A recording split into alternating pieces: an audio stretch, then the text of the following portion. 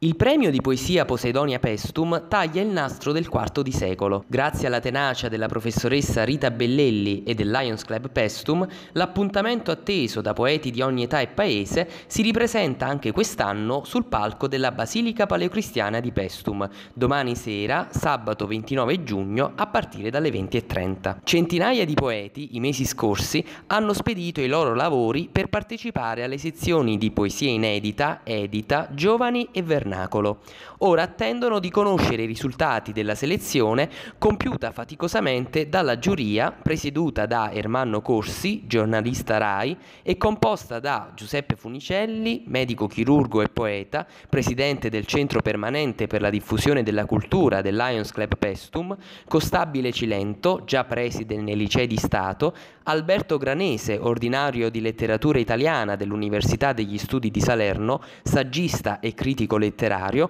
Pasquale De Cristofaro, regista teatrale, drammaturgo. Già noti i nomi dei due vincitori della poesia straniera e del premio alla carriera, Alicia Maria Kubelska, di origini polacche, autrice tradotta in Belgio, Stati Uniti, Inghilterra, Canada, India, Australia e Italia, e Giuseppe Liuccio, già docente preside nei licei classici, giornalista RAI, poeta e narratore, al quale viene tributato il premio alla carriera per la sua ricchissima produzione letteraria che lo ha reso ambasciatore del Cilento nel mondo. Durante la serata, condotta dalla professoressa Rita Bellelli e con la direzione musicale del maestro Gianfranco Marra, porteranno il loro saluto il neo sindaco di Capaccio Pestum Franco Alfieri, il presidente della società SPA Convergenze Rosario Pingaro, partner organizzativo del dell'evento insieme al Lions Club Pestum e al comune, il presidente del Lions Club Pestum Enrico Bellelli e il governatore del distretto Lions 108 YA Paolo Gattola.